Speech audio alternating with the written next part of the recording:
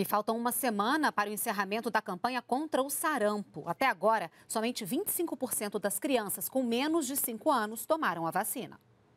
Manchas vermelhas pelo corpo, febre e tosse, sintomas do sarampo, que foi erradicado aqui no Brasil em 2016, quando a cobertura vacinal chegou a 99% mas uma campanha global anti-vacina e a pandemia facilitaram o retorno de doenças. O sarampo é uma delas. Para reverter esse quadro, o governo federal começou a imunizar em todo o país, no começo de maio, o grupo mais vulnerável, de crianças a partir de seis meses de idade até menos de cinco anos. A vacinação contra o sarampo é uma estratégia extremamente importante para se prevenir uma doença que é imunoprevenível, né? Que ela pode ser prevenida com vacina. Todas as crianças, mesmo as que já se vacinaram, podem receber uma nova dose. Até agora, apenas 25% do público-alvo foi imunizado e o Ministério da Saúde alerta para que os pais não deixem de proteger os filhos contra o sarampo. A vacina é a única forma de interromper a circulação do vírus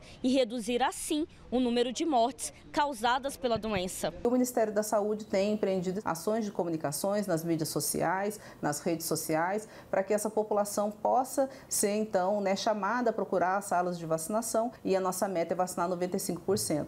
Hoje, no universo de quase 13 milhões, apenas 3 milhões e 350 mil crianças foram imunizadas. Mayumi, de 4 anos, já contribuiu para aumentar esse número. Hoje, com tanta tecnologia e conhecimento, e a gente está podendo né, evitar pegar, adoecer, com certeza é a melhor coisa que a gente faz é prevenir nossas crianças. Rafaela fica de olho na caderneta do Ian, de seis meses. Ela não se arrisca quando o assunto é a saúde do filho. Acho que é uma obrigação nossa como os pais manter essa caderneta dele em dia.